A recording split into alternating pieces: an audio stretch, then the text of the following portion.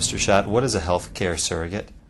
A healthcare surrogate is an estate planning document that you should prepare while you are healthy and still capable of making decisions for yourself.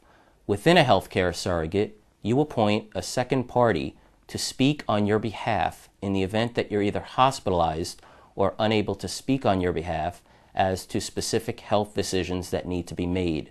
In other words, if you're brought to the hospital and unconscious, clearly you won't be able to tell the doctors what you want. However, via the healthcare surrogate, you're now electing a specific person to make those decisions on your behalf when you're not able to do so. It's a very important decision because decisions made in a hospital are very important as they can affect your life, your health, and your well being. So when you select someone to be your healthcare surrogate, make sure that you select a person who you know and who you trust to make good decisions for you when you're not able to speak for yourself.